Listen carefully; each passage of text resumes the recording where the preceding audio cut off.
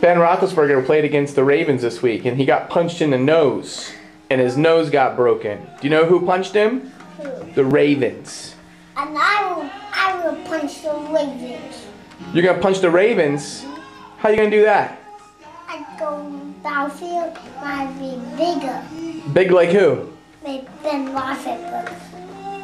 And what are you gonna do? Punch the Ravens. Where are you gonna punch him? In the nose? Walls inside the n- nose. Inside their nose. And it will knuckle. Do you like the Ravens? no, What do they make you do? four. and I will punch the Cowboys too. Red Sox. and I can punch them in the nose. Okay.